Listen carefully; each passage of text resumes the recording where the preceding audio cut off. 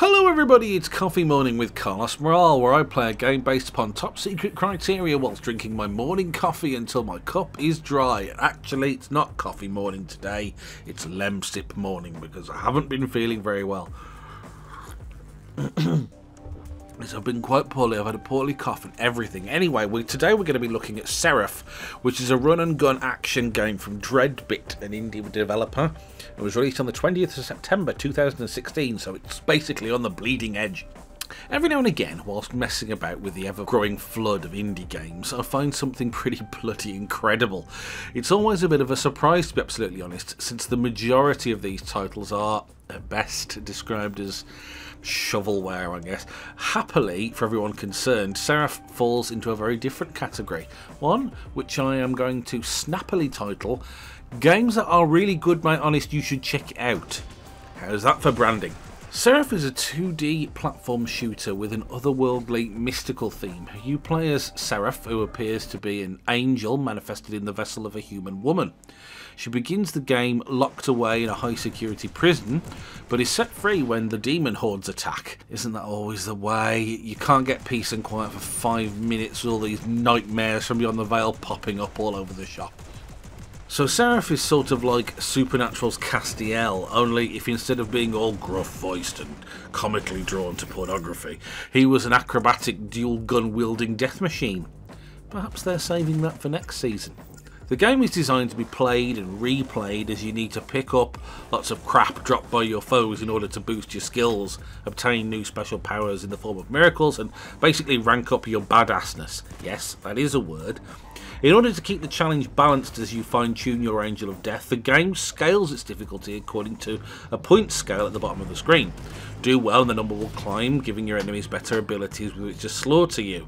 Repeatedly get slaughtered, however, and the number will decrease lowering the toughness of your enemies with a trade-off that their loot drops will be less powerful.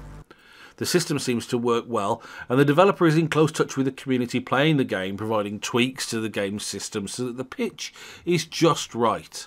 Although Seraph is a run and gun title, the gameplay mechanics are somewhat different to uh, a Contra style game. Firstly, you don't need to aim your weapons to take down enemies.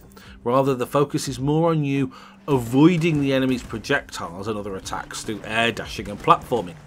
Seraph automatically targets, although you can select an enemy you want to prioritise with a flick of the right thumbstick. Small in number at first, enemies soon become plentiful and keeping Seraph out of harm's way is a considerable challenge.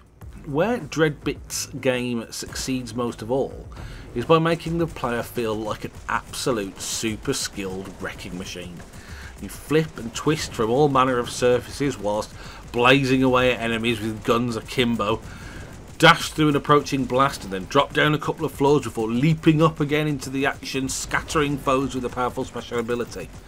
Yes, the enemies are tough, but so are you.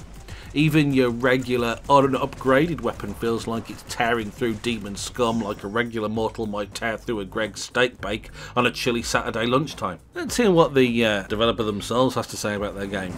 Seraph is a skill-based acrobatic platformer without aiming featuring an angel known as Seraph who's fighting to restore her lost power and ultimately escape a prison infested with demons. However, Dark magic has trapped the angel inside her human vessel. If the vessel dies, so will Seraph. And they're not wrong. Absolutely worth 10 quid for any PC gamer with the slightest interest in action gaming. I can strongly recommend Seraph not just as an example of a good indie game, but as a great game full stop. It's nice to support the indie scene, but it's even nicer when they reward us with something as well polished as this. Hope you've enjoyed this video. Please don't hesitate to drop a like or share this out amongst your friends so that everyone else can appreciate the glory that is... No, not me. Uh, Seraph, that's it. Appreciate the glory that is Seraph. And I'll look forward to seeing you again next time.